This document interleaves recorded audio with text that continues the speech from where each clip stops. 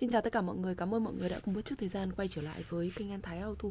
Hôm nay em xin giới thiệu tới anh em một sản phẩm đó chính là quạt gió giảm lạnh trong xe của xe Kia Calivan và Kia Sportage. À, Dòng sản phẩm này được sản xuất bởi công ty Dogon à, của Hàn Quốc.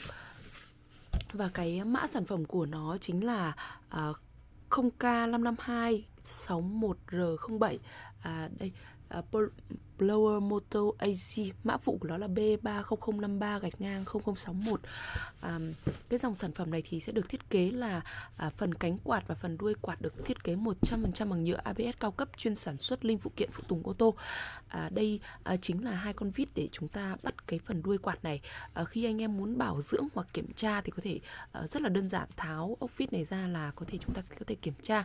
À, đây chính là ba à, phần để chúng ta bắt ở chỗ hộp quạt gió dàn lạnh đây là hai phần rắc điện âm dương người ta có quy định rõ ràng à, à, cái về phần cánh quạt này À, đây chính là cái hướng chiều gió mà à, sẽ sản sinh ra khi quạt vận hành.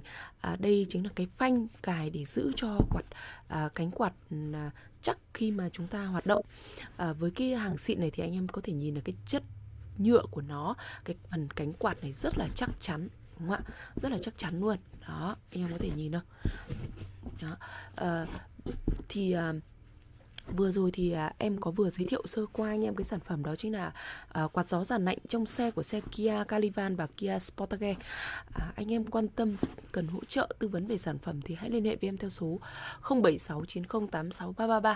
Hỗ trợ kiểm tra lắp đặt thay thế tại gara ô tô BMT số 1 ngõ 319 Tam Trinh. Số liên hệ là 0856727222 Em xin cảm ơn hẹn gặp lại mọi người trong những video kế tiếp. Em xin chào.